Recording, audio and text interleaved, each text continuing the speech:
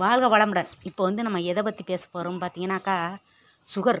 இப்போ சுகர் வந்து சுகர் இல்லாதவங்களே ஒரு நூற்றுக்கு ஒரு அஞ்சு பேருக்கு தான் சுகர் இல்லை. அந்த அளவுக்கு சுகர் வந்து ஒரு வியாதியாகவே நம்மளுக்கு பரவிக்கிட்டு வருது.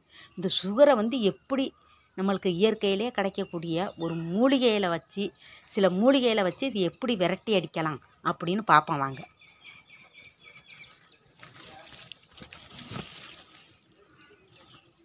இது தாங்க அந்த மூலிகை. இது என்னன்னு பார்த்தீங்களா? கோவை இலை. இந்த கோவை இலை கோவை பூவு இதோட வேர் இதோட காய் எல்லாமே மருத்துவ குணம் தான். மருத்துவ குணம் அடங்கியிருக்கு. இது எப்படின்னு கேட்டிங்கன்னா இந்த வேர் இந்த தண்டெல்லாம் போட்டு சூப்பாகவே வச்சு குடிக்கலாம். சுகருக்கு ரொம்ப நல்லது. அதேமாரி காயை பாருங்களேன். காயை ரெகுலராக எல்லாருமே சாப்பிட்லாம். காய் வந்து நம்மளுக்கு நோய் எதிர்ப்பு சக்தி அதிகமாக உள்ளது.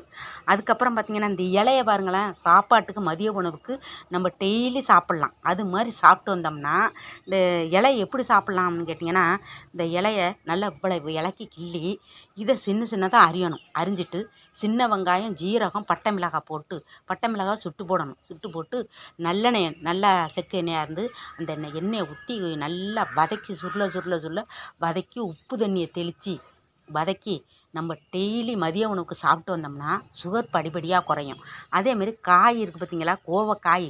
கோவக்காய் காலையில் பல்ல விளக்கி விட்டு வெறும் வயிற்றில் சாப்பிட்ணும். அது மாதிரி சாப்பிட்டு வந்தாலும் சுகர் வந்து ஒரு கட்டுக்குள்ளே வரும்.